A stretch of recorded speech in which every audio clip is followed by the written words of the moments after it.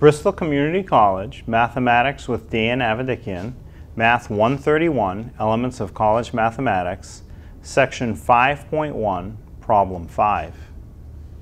This is Section 5.1, Problem 5. It says, how long will it take for money to double at 10% simple interest? So again, because the problem says simple interest in the problem, I'm going to use the simple interest formula as opposed to the compound interest formula. So I have I equals PRT. And the unknown is the T. How long will it take? And it seems like there are more unknowns. How long will it take for money to double at 10%? Well, what's the principal? What's the interest? I know the rate. The, the rate is 10%, but um, and they want the time, but it seems that these are unknown also. That's what makes this problem seem a little bit more difficult than it is.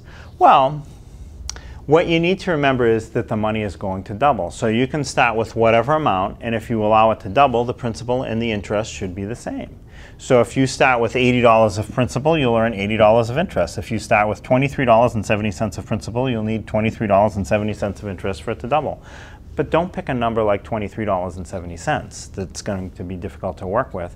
Pick either a dollar is good. You have a dollar of principal, a dollar of interest, or make it $100 because it's going to wipe out the decimal that you'll have to work with. So I usually choose 100 for these types of problems. So if I earn $100 of interest on $100 of principal that I put in, I've doubled my money.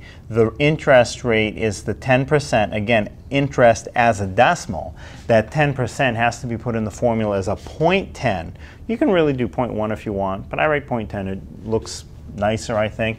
And the t, the time, is the unknown, and it'll be time in years. So now, my $100 of principal will double if it earns $100 of interest.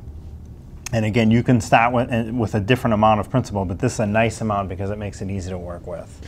So now let me multiply out on the right side of the equal sign. 100 times 0.10 times t is 10t. The 100 times the 0.10 just slides the decimal over. So I have 100 equals 10t.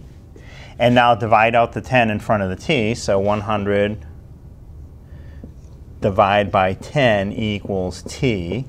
And that's easy to reduce. It's 10. If, and if you don't see it, just use your calculator. 100 divided by 10 equals. But t is 10 years. So if you can earn 10% simple interest, it'll take 10 years for you to double your money, no matter how much you start with, whether it's $100 or a different amount.